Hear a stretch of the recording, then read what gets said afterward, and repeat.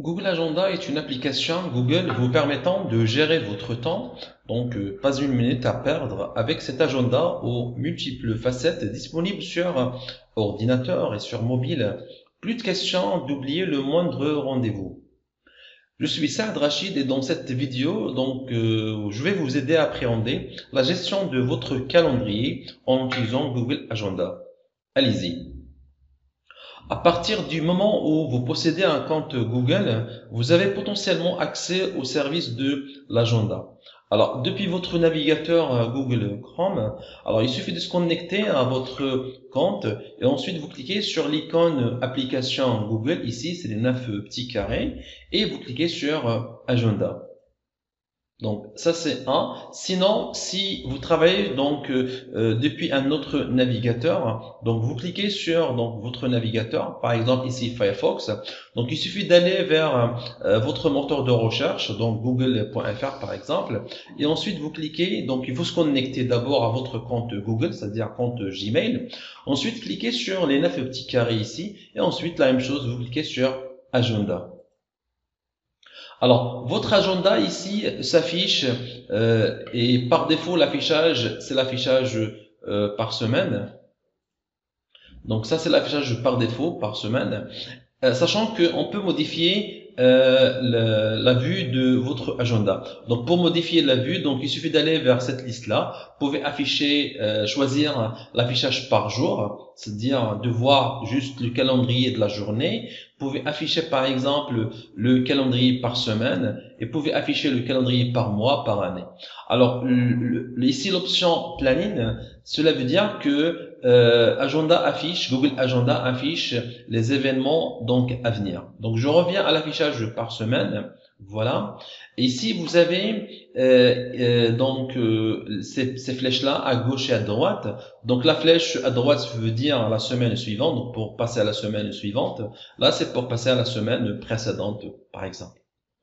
Alors, passons maintenant à euh, une procédure de création euh, d'un nouvel événement. Alors, comment faire pour créer un nouvel événement? Alors, supposons que le lundi, par exemple, le 22, euh, plutôt le... Donc, je vais passer à la semaine prochaine, par exemple, ici. Et le lundi 23, par exemple, à 10 heures, ici, j'ai un, par exemple, un entretien.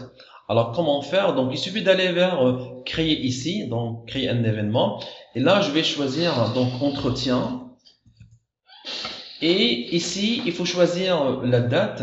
Donc ici ça va être euh, le 23 mars. Par exemple ici ça va être lundi 23 mars. Donc par exemple ici j'ai un entretien à 10 heures. Donc je vais choisir mon entretien à 10 heures. Donc 10 heures par exemple à 11 heures, voilà. Et je peux choisir, je peux taper une euh, description par exemple de quoi s'agit dans cet entretien. Je fais enregistrer et voilà, mon événement est enregistré dans la semaine à venir du 23 mars par exemple. Alors aussi, on peut créer un événement euh, donc d'une autre façon. Donc euh, je vais supprimer celui-là Donc, par exemple, j'ai un entretien le 23 euh, mars à 10h. Donc, il suffit de cliquer dans cette case-là, ici. Donc, voilà, il s'affiche. Et je peux taper, voilà, donc entretien. Voilà. Et je peux choisir donc 23 mars à 10h. Donc, je peux changer, ou bien je peux garder la date et l'heure. Je peux ajouter, comme je viens de dire, une description. Et je peux faire enregistrer. Et voilà, mon événement est créé. Alors, pour faire une modification, supposons que vous avez reçu un email de modification de l'entretien. Donc, il suffit de cliquer sur votre événement, voilà. Et ici, vous choisissez ce, euh, cette icône-là, modifier l'événement, voilà. Donc, euh, ici, alors, vous pouvez changer euh, soit euh, le, titre de votre événement, vous pouvez changer, changer la date, l'heure, etc. Alors, vous pouvez, par exemple, spécifier une couleur. Donc, je reprends. Ici, par défaut, donc, il vous donne une couleur bleue, d'accord euh, sachant qu'on peut changer. Alors, comment faire pour changer la couleur? Donc, il suffit d'aller vers modifier ici. Donc, j'ai dit qu'on peut changer le titre, la date et l'heure. Et on peut changer la couleur ici. Vous remarquez la couleur. Là, je peux mettre, par exemple, du vert. Et je fais enregistrer. Voilà. Et mon, euh, elle a été changé. Alors, autre chose au niveau de Google Agenda, c'est les alertes.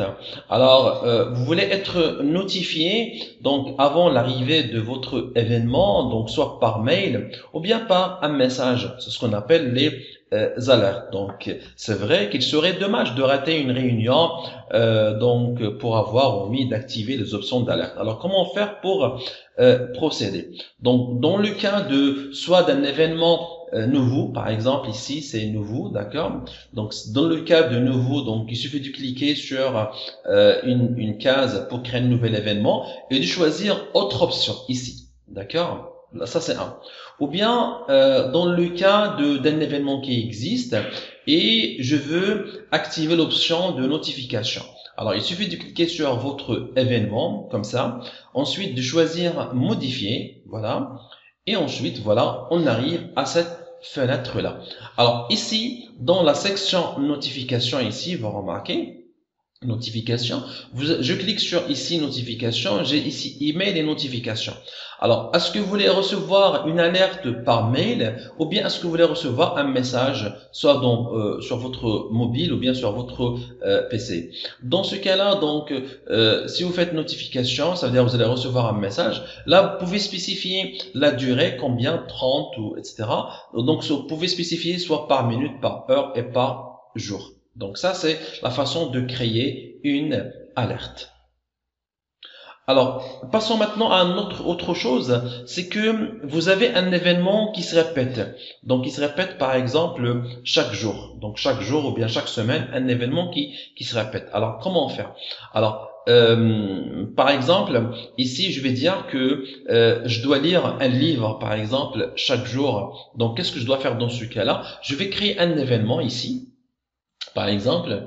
Et là, je vais, par exemple, ici, lire, euh, par exemple, livre, euh, par exemple, apprendre à communiquer. Alors, dans ce cas-là, donc, vous spécifiez soit, par exemple, plutôt avant d'être dans cette boîte là je préfère faire autre option. Voilà pour aller pour voir le détail. Là vous avez le détail de votre événement. Là ici donc vous pouvez choisir la date. Donc par exemple euh, là c'est à partir de 28 moi je vais le faire à partir du euh, lundi 23 par exemple. Et là euh, par exemple je vais choisir soit l'heure l'heure de début et l'heure de fin de répétition et là, je vais faire par exemple tous les jours. Cela veut dire que cet événement va être, va, se répéter. Donc, au lieu de le créer à chaque fois, je le crée une fois à partir du lundi. Donc, il va se répéter chaque jour euh, du 14h à 15h. D'accord? Tous les jours. Alors, je vais faire enregistrer. Je peux changer la couleur si je veux. D'accord? Et je fais enregistrer. Voilà. Alors ici, vous remarquez que votre événement, voilà, il est créé, il se répète chaque jour à partir du lundi, d'accord? Je passe à la semaine suivante, donc il va se répéter. Donc ça, c'est l'idée de ce qu'on appelle un événement récurrent, un événement qui se répète. Alors, je vais le supprimer, par exemple, je clique et je fais supprimer. Alors, il même propose ici trois options. Est-ce que je veux supprimer juste cet événement bien je veux supprimer euh, pour tous les événements Donc, je vais choisir cette option-là, tous les événements. Donc, automatiquement, il va être supprimé dans tous les jours. Voilà. Alors ça c'est en ce qui concerne la création d'un événement euh, récurrent. Alors passons maintenant à un autre, euh, une autre procédure, c'est l'invitation des contacts. Alors vous avez un événement et vous voulez informer euh, d'autres contacts, vous voulez informer d'autres personnes de votre événement. Par exemple, vous voulez voir un match avec vos amis. Dans ce cas-là, vous voulez inviter vos, des contacts, etc. Alors supposons que le mardi vous aurez un, un événement, donc par exemple vous vous allez voir un match à 18h ici. Donc, je suis ici à 18h le mardi 24 mars. Donc, je clique. Ensuite, je vais aller vers autre option. Voilà. D'accord. Et ensuite, là, je vais, par exemple, ici, voir match, par exemple, de foot. D'accord. Alors, ça va être le 24 mars de 18h par exemple jusqu'à 20h de 24 mars. Et là, je veux inviter d'autres personnes. Alors, il suffit de taper ici l'adresse mail des personnes que vous voulez euh, donc euh, inviter à cet événement-là. Euh, pour cette personne-là, euh, ce n'est pas obligatoire qu'il doit avoir euh, Google Agenda. C'est pas obligatoire. Donc, il suffit ici de taper leur adresse email. Par exemple, je vais taper une adresse mail d'une personne que je veux inviter, par exemple. Voilà. Et là, je choisis euh, l'option, les options d'autorisation. Donc, soit je veux qu'il modifie l'événement, par exemple, euh, c'est-à-dire il change la date, l'heure, etc. Euh, je veux qu'à partir de cet événement-là, lui aussi peut inviter d'autres personnes, ou bien aussi il peut voir la liste des invités qui vont participer, par exemple, à euh, cet événement qui est voir le match de foot.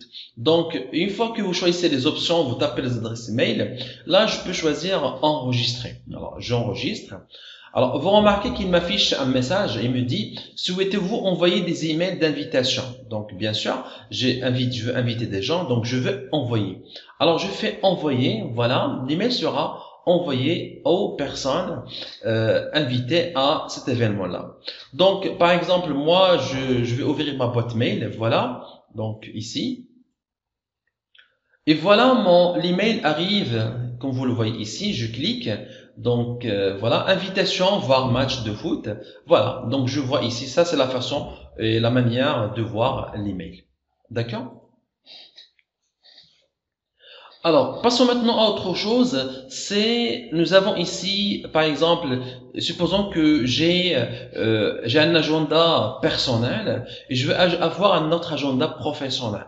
Donc, je veux avoir, je veux gérer mon temps avec deux calendriers, un calendrier professionnel et un calendrier personnel. Dans ce cas-là, qu'est-ce qu'il faut faire? Il faut créer euh, des agendas. Dans ce cas-là, alors comment faire pour créer euh, un agenda? Donc ici, euh, dans la partie à gauche, ici, vous remarquez autre agenda. Alors là, vous voyez le signe plus, d'accord? Et là, je peux créer, créer un, choisir l'option créer un agenda. Donc je clique sur créer un agenda et là, je peux l'appeler par exemple professionnel. D'accord C'est mon agenda professionnel ou bien mon agenda de travail et je clique sur créer un agenda. Voilà, donc je viens de créer euh, mon agenda et je clique ici pour revenir dans paramètres, voilà.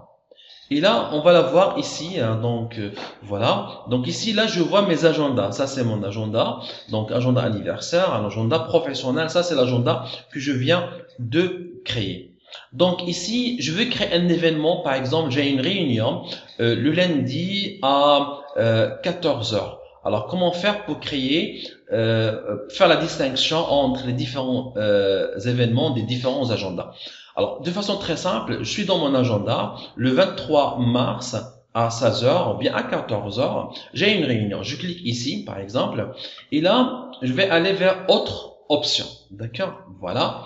Et ici, je vais dire que quoi j'ai une réunion. D'accord? Une réunion. Euh, hein, et ici, vous remarquez que ici, dans cette partie-là, hein, là j'ai, euh, par exemple, ici j'ai Rachid 7, je clique, et là je vais voir mon agenda professionnel. Donc je choisis l'agenda professionnel, par exemple, ici il m'affiche la couleur rouge, parce que, donc je reviens ici, donc je vais ignorer, et ici, vous remarquez que la couleur de mon agenda, il est rouge. Et la, couleur de mon agenda, par exemple, Rachid 7, il est en bleu. Alors, je vais créer un événement. Donc, je viens de dire une réunion. Voilà. Donc, je fais autre option. Et je fais réunion. Alors, ici, je choisis mon agenda, l'agenda professionnel, c'est la couleur rouge. Et là, la réunion. La réunion va être à 14h jusqu'à, par exemple, à 15h30. D'accord. Je peux ajouter des personnes que je peux inviter. D'accord. Une fois c'est fait, je fais enregistrer. Voilà. Alors, vous remarquez ici que j'ai ici mon euh, mon calendrier, mon, mon, agenda, voilà, qui comprend des événements euh, de l'agenda professionnel et des événements de l'agenda personnel Saad Alors, comment faire pour afficher que euh, les événements de l'agenda professionnel? Ben c'est très simple, il suffit de euh, ici de désactiver ici, par exemple. Alors ici, je vais voir que mes événements, dans la partie à gauche ici, comme vous avez remarqué, j'ai désactivé, donc c'est-à-dire je ne veux pas voir le calendrier des autres agendas. Donc ici, je vois que les événements de l'agenda professionnel. Je vais voir les agendas de Saad Rachid, donc il suffit de cliquer ici, voilà, et je vois les, euh, les événements de Saad Rachid et de euh, l'agenda professionnel. Vous pouvez partager votre agenda avec des membres de votre famille, des amis ou des collègues. Donc, euh, comment procéder Donc, euh, dans la partie à gauche, donc allez à votre agenda, vous juste vous pointez sans cliquer. Ici, vous voyez des euh, trois points superposés. Alors, vous cliquez et vous voyez ici des options affichées uniquement cet agenda, ce qui veut dire on veut voir les événements de cet agenda. Masqué dans la liste, ça veut dire on veut pas voir l'agenda dans cette liste-là qui est à gauche. Et là, c'est paramètres et partage. Alors là, je clique. Et dans la partie à gauche, ici, vous voyez votre agenda professionnel. Et là, j'ai l'option partager avec des personnes en particulier. Alors, je clique là-dessus. Et là, vous avez un bouton ajouter de contact. Alors, je clique. Et là, je vais taper, par exemple, l'adresse email euh, de la personne avec qui je veux partager euh, mon agenda. Donc là, par exemple, je tape. Et là, je fais euh, il y a des options ici. Alors en bas ici, il y a des options d'autorisation. Donc est-ce que je veux que la personne avec qui je partage, juste il va voir euh, la disponibilité, va voir le détail, est-ce qu'il va modifier lui aussi, ou bien est-ce qu'il peut modifier et ensuite il peut gérer le partage? Alors je vais choisir afficher le détail des événements. Donc je veux voir, je, je souhaite qu'il voit juste le les détails des événements sans qu'il a la possibilité de modifier. Je fais envoyer, voilà. Donc un email est envoyé à, la, à, la, personne. Donc euh, voilà, donc je vais aller à la boîte email de la personne.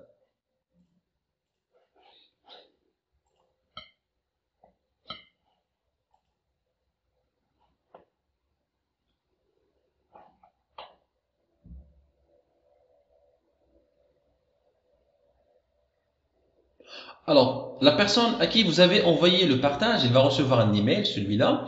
Donc, je clique. Il va recevoir donc un email euh, comme celui-ci. Et, et, donc, l'email a été envoyé par cette personne-là, ayant cette adresse-là, d'accord Il vous dit à partager un agenda avec vous. Alors, qu'est-ce que je dois faire? Je veux ajouter cet agenda. Je clique, voilà. Et l'agenda sera Donc, il va m'envoyer un message et il me dit, est-ce que vous voulez agenda, ajouter, ajouter un agenda? Je fais ajouter, voilà. Agenda s'appelle professionnel. Voilà. Voilà, l'agenda est ajouté dans la partie à gauche, comme vous l'avez remarqué, remarqué ici. Voilà, votre agenda est ajouté. D'accord? Voilà. Alors, comment faire pour euh, supprimer un, agenda? Donc, vous avez un agenda, par exemple, je veux supprimer l'agenda professionnel. Alors, comment faire? Donc, il suffit d'aller donc euh, ici paramètres, paramètres et partage, d'accord? Et dans la partie à gauche, vous avez l'option supprimer l'agenda. Alors, je clique, voilà, il me dit est-ce que vous voulez supprimer, soit se désabonner, soit supprimer. Donc, je vais faire supprimer pour supprimer l'agenda définitivement. D'accord? Voilà. Alors ici, euh, autre option, je veux par exemple ne pas voir anniversaire, rappel et task ou bien tâche. Je ne veux pas les voir. Alors comment faire? Donc il suffit d'aller vers option par exemple ici paramètres. Donc vous avez ici paramètres, d'accord? Paramètres. Et là, par exemple, j'ai ici anniversaire. Alors, qu'est-ce qu'il faut faire? Il suffit d'aller vers ici, vous voyez ici l'icône se forme de l'œil, donc qui veut dire masquer dans la liste. Alors, je clique, par exemple ici, et je fais paramètres. Voilà. Quand vous remarquez, je ne vois pas ici euh, anniversaire. Alors, comment faire pour la réafficher une autre fois? Il suffit d'aller vers paramètres, d'accord?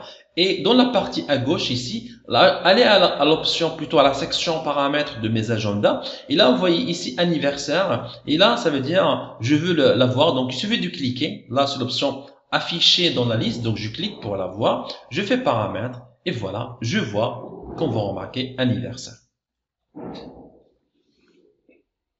Donc euh, voilà en ce qui concerne la gestion de euh, Google Agenda. Donc euh, voilà, je suis heureux de vous présenter cette vidéo. Si vous avez des questions ou des suggestions, n'hésitez pas à me laisser un commentaire, je lirai et je répondrai. Merci encore une fois et je vous dis à bientôt.